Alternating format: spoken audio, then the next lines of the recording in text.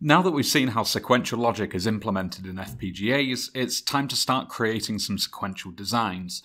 Up until now, we've primarily used Verilog to build combinational logic designs, and the syntax we've learnt has been focused around that. We'll need to learn a few new bits of syntax to implement sequential logic, as well as new constructs to deal with things like timing and conditional statements. We've touched on a couple of these areas in testbench design, but there's still a lot to learn.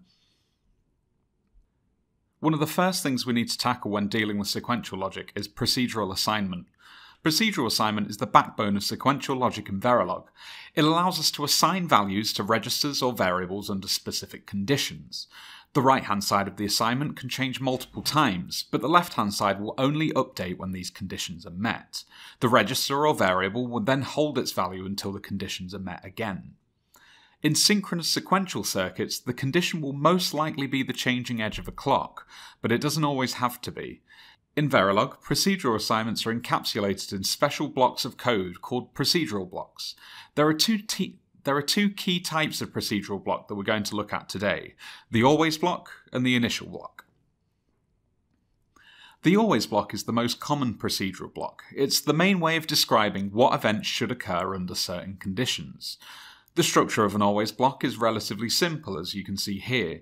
We use the always keyword, followed by an at symbol, then specify the block's sensitivity list in parentheses.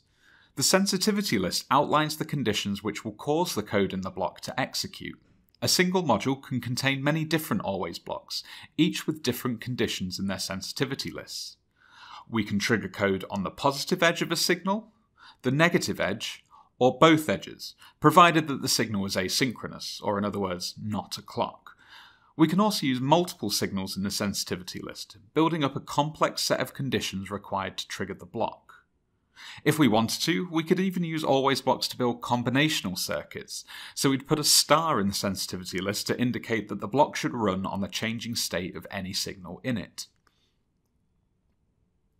As procedural blocks are complex constructs, there are some specific syntax and language rules that we need to follow.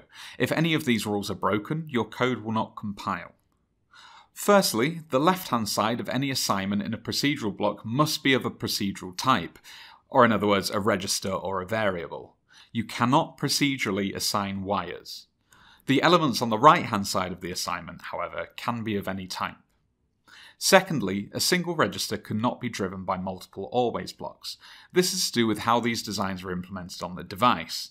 The sensitivity list for an always block determines the clock signal for the flip-flop representing that register element. A flip-flop can only have one clock source, therefore a register can only be included in a single always block. Along similar lines, you cannot mix double and single signal edges in the sensitivity list. The device architecture simply can't handle it. Finally, for combinational logic, you must include all signals in the sensitivity list, if using the star notation isn't practical. This is to avoid having elements not trigger an update in the combinational circuit. You may have noticed that I'm sometimes using slightly different syntax when doing procedural assignments. In continuous assignment, we always use the standard equals sign within our statements to set the left-hand side of the assignment to be the result of the right-hand side expression. In procedural assignment, this isn't always the case. We can use different signs to mean different things, and the one we use is dependent on whether the assignment is blocking or non-blocking. Non-blocking assignments happen in parallel, and we define them with a greater than or equals to sign. If multiple non-blocking assignments take place in one always block, they are all set at exactly the same time. If the right-hand side of a non-blocking assignment contains the result of another non-blocking assignment in the same always block, it will use the old value of that assignment. So you can think of it as chaining together registers within a single always block. On the other hand, blocking assignments happen sequentially. If multiple blocking assignments take place in one always blocks, they are set one after the other. So if the right-hand side of a blocking assignment contains the result of another blocking assignment, the result of the expression will be determined by whichever is defined first in the block. To define a blocking assignment, we use an equals sign. You'll need to think carefully about which type of assignment you should be using. In sequential circuits, non-blocking assignments are usually more appropriate, but in combinational circuits, blocking assignments are usually more appropriate. Pay close attention and take care with your syntax when you're writing modules. A single omitted greater than sign can completely change the function of your circuit. You should be compiling, simulating, and evaluating your modules as you build them. Let's take a look at an example sequential logic module. The code here implements a D-type flip-flop using procedural assignment. It's very simple. There's a single always block which is triggered by the positive edge of a clock input. On each clock tick, the output register Q is set to whatever state the input D is currently at. Even though we only have one statement, we should still use a non-blocking assignment here, as it's good practice for sequential logic. Note that as the output is on the left-hand side of the assignment, it must be a variable data type, in this case a register. In Verilog, Outputs are defined as wires by default, but we can redeclare them as registers in the port list. If you do not do this, your module will not compile and Quartus will give you an error. We're now going to take a look at another type of procedural block, one that you should recognise from testbench design, the initial block. When we simulate some of our designs, we'll want to set the value of registers in our system's very first state. This will become particularly important when using closed loops. We can do this using an initial block. Initial blocks allow us to set the state of registers at time zero of the circuit. This gives them a value for the initial state and eradicates any uncertainty. Unlike always blocks, initial blocks can only ever run once and are not repeatable. Keep in mind that using initial blocks for synthesis is bad practice.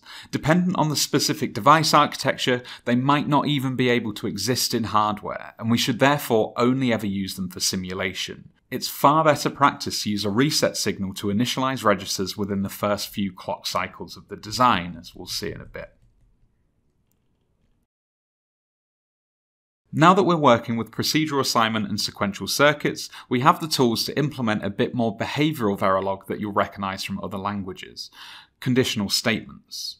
We can use conditional statements within procedural blocks to further decide how a circuit should act depending on the state of a signal. The two conditional statements that are available to us are if and case. The if statement in Verilog acts exactly like it does in other programming languages. We specify some conditions and what should happen if they're evaluated as true or false. In always blocks, if statements will re-evaluate every time the block is triggered. Should we want to, we can further extend an if statement with chains of if, else if, and so on and so forth. In hardware, if statements can easily be thought of as a multiplexer which feeds into the flip-flop. The code here shows a modified version of the D-type flip-flop, which uses an if statement to implement reset and enable functions. As initial statements are treated as not synthesizable, we use reset signals to give specific registers an initial state. This means when we simulate the design, we should toggle the reset pin at the start to avoid any unknown states on the output. Case statements are similar to if statements. They act as a decision instruction which chooses an outcome for execution, depending on the state of a specific signal. The outcome chosen is the one with a value that matches that of the case statement. So case statements in Verilog are used to form the foundations of state machines, as you'll look at in a later module. The code here shows how we can use a case statement to create a JK flip-flop in Verilog. As mentioned in the previous screencast, the logic elements on the device that we're using only contain D-type flip-flops. Therefore, a JK flip-flop would be synthesized using a feedback loop from the output to the input and some combinational logic in the lookup table. Because of the feedback loop in the design, there's the likelihood of the output of the module being in an unknown state. If J and K is set to 00 or 11, the output of the design either keeps its previous state or toggles respectively. However, if it's the first tick of the clock, there isn't a previous state to keep or toggle. In simulation, the design will remain in an unknown state until a fixed value is either given or set by changing the values of j and k. In hardware, there's actually no real way of telling what the initial state will be unless you start looking in the architecture documentation and seeing how the device deals with such things. But this is why our designs need a reset. We can trigger the reset at the start of the simulation to set all of our registers into a known state. So in this video, we've covered the basics of sequential design in Verilog. These are the key things to remember. Firstly, the left-hand side of a procedural assignment must be a variable data type. In most cases for you, it will be a register. Do not try and procedurally assign wires. Secondly, any output driven by a procedural assignment must be of the type output reg. Thirdly, initial blocks are not always synthesizable and therefore are only to be used for simulation. They will be ignored when the design is committed to hardware. And finally, make sure you include reset signals in your designs if any feedback loops are present.